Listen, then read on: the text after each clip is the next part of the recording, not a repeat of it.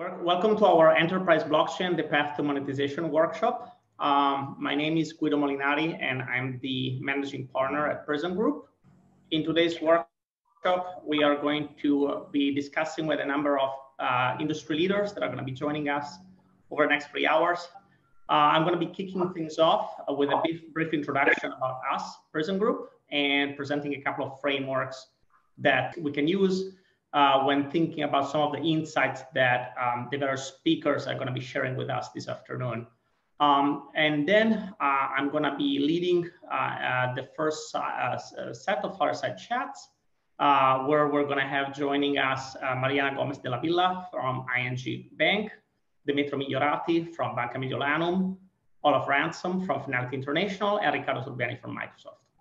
after that, I'm going to be leading, giving the the floor to my colleague Rick Cataldo, who is going to be hosting a session with speakers joining us from Ireland and the US Coast. Uh, we're going to be having with us Ciaran McGowan from WeTrade, Shyam Nagarajan from IBM, Chen Zhe from Ernst & Young, and Daniel Wilson from TradeLens. Um, and uh, uh, Mark Treshock from IBM Pharmaceutical Utility Network. Uh, after that, I'm going to be coming back and uh, with me, there's going to be um, another set of speakers joining us from the US Midwest and the Rockies. Uh, among them, uh, there's going to be Adam Kaplan from Salesforce, Merrick Vass from United Healthcare, the Synaptic Health Alliance, and David Post from IBM, Trust Your Supplier.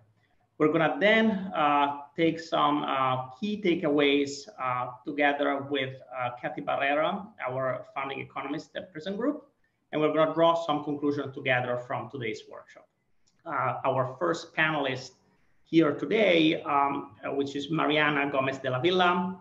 Uh, Mariana is the DLT program manager at ING Bank, and she's joining us from Amsterdam. Uh, ING, I'm sure many of you are familiar, is the largest bank in the Netherlands and one of the 10 largest banks in Europe. Under Mariana's leadership, uh, ING has been one of the most active players in the enterprise blockchain space, uh, they are a member of Trade Finance Network Marco Polo, um, a member of the energy-focused post-trade management platform Vakt. Uh, they're a member of the letter of credit blockchain platform Contour, and they're a member of the on-chain payment in wholesale, wholesale banking market, Fnality International. Welcome, Mariana. How are you today? Thanks. Thanks uh, for Thank you very much for the invitation, Guido. I really appreciate it, uh, and I'm really excited to be here. Wonderful. So Mariana, uh, you know, you have been involved in uh, directly in many enterprise blockchain initiatives, uh, and I'm sure that there have been, you know, many hurdles along the way. Uh, what's in your view one of the main challenges that you have had to face to monetize your blockchain efforts?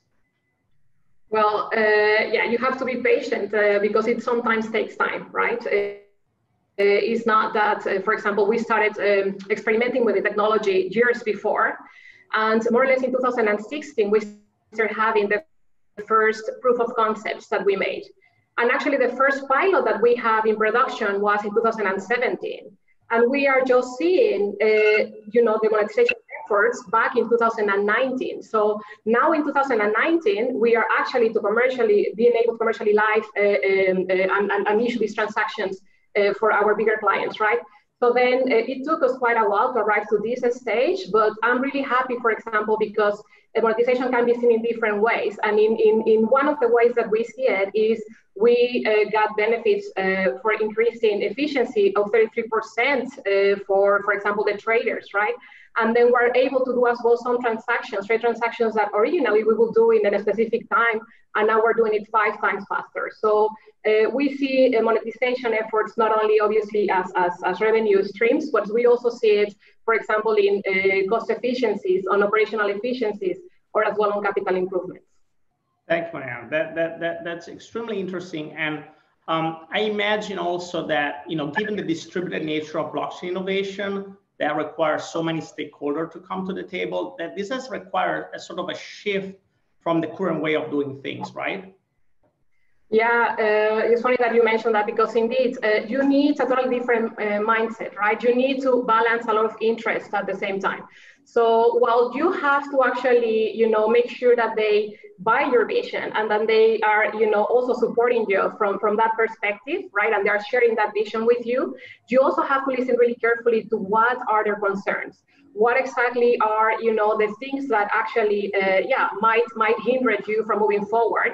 And you have to educate uh, them a little bit and listening to those concerns as well and applying those concerns uh, in your processes so make sure that uh, that you bring them along with you, you know, along this journey of learning. You're learning together actually, because if at a certain point you leave them behind, you know, and you lose them, then you won't have the participation that you need to actually go live, and then you won't have as well uh, the support that you need for them to actually be able to be or do their part in this huge ecosystem, right?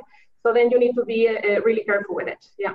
Yeah, no, absolutely. Yeah, I, I think that, that the challenge of educating at the same time that you need to actually do the development is one that we've heard from many many of our clients as they went through their their blockchain efforts. Now, um, you know, thinking more about um, the opportunity for blockchain monetization. So, where do you see? Um, you know, you guys are involved in many different networks with amazing use cases. Where do you see the biggest opportunity going forward?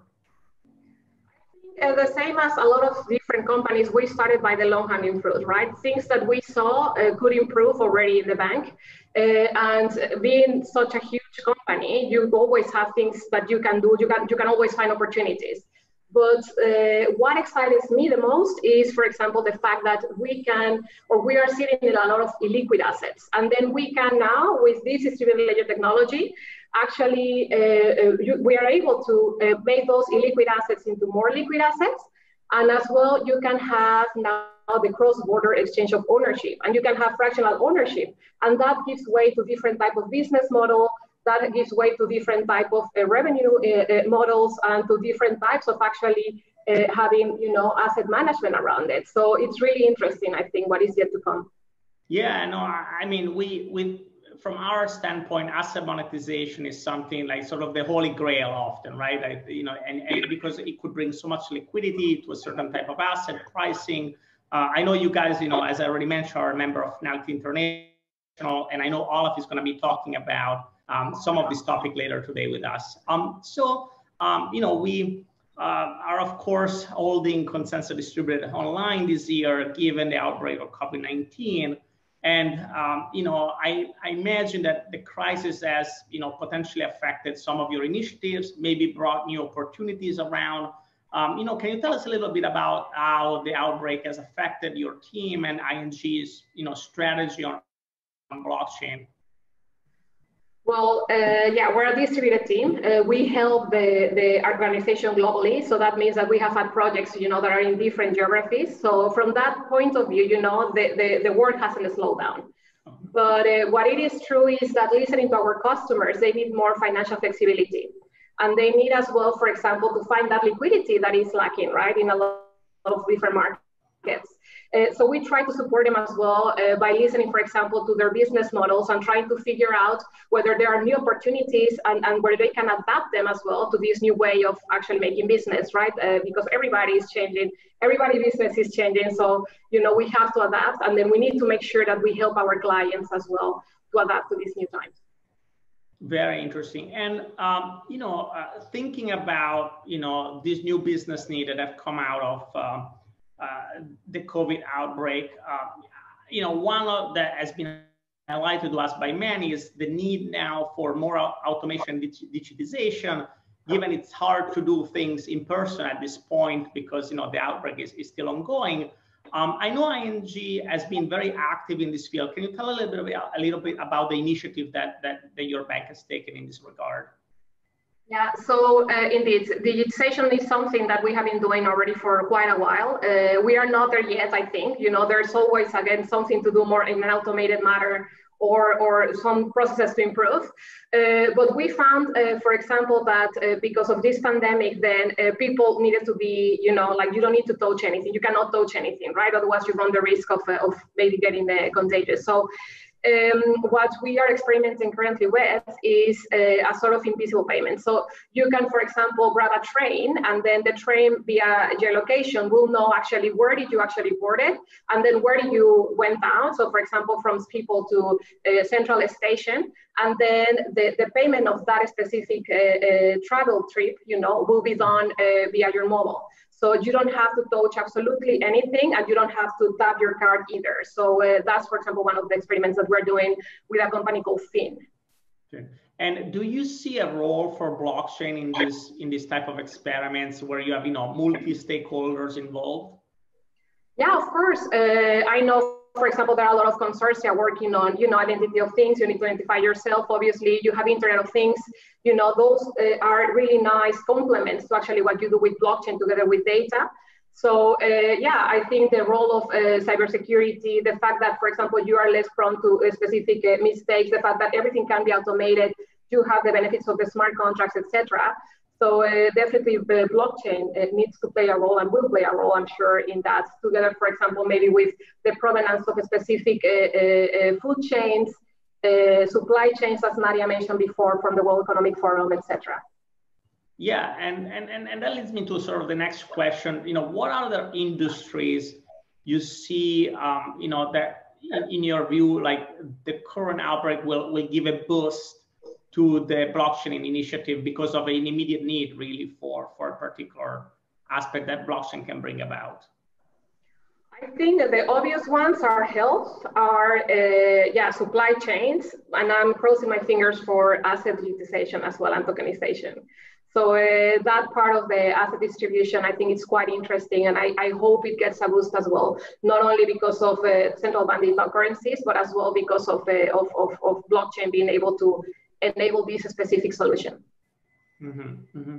And uh, Marian, I know we are, you know, um, uh, uh, shortly running out of time. If you were to give a recommendation to, you know, a blockchain industry leader out there that are maybe, you know, not as advanced as ING is in their initiative and they're sort of taking their first steps, what would be one recommendation that you would give as they, they take their first steps in thinking about how blockchain can uh, affect their business and how can they monetize their efforts? I think uh, what I like the most from an industry as a, uh, is, is the fact that it's a, it's a team effort, right? You never arrive anywhere alone. You know, you always do it because because of the people that is with you uh, in this journey.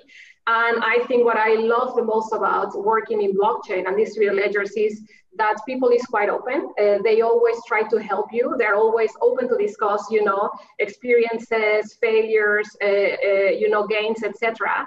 So you don't need to start from scratch. Uh, if you poke into anyone, anyone will be willing to help you and bring in, you know, whatever their experience has been so far. Uh, and uh, and yeah, I think it will be that you know just just tap into into any person in this conference. For example, you have a lot of networking opportunities. So tap into them, and I'm sure everybody will be will be, sorry will be willing to help you out. Wonderful. Well, Mariana, thank you so much for joining us today and sharing your insights. And um, you know, hope you stay safe and hopefully next year we'll be able to meet in person at Consensus 21, 21 in New York. Thank you again for joining us. Thank You thank you for the invitation. Bye.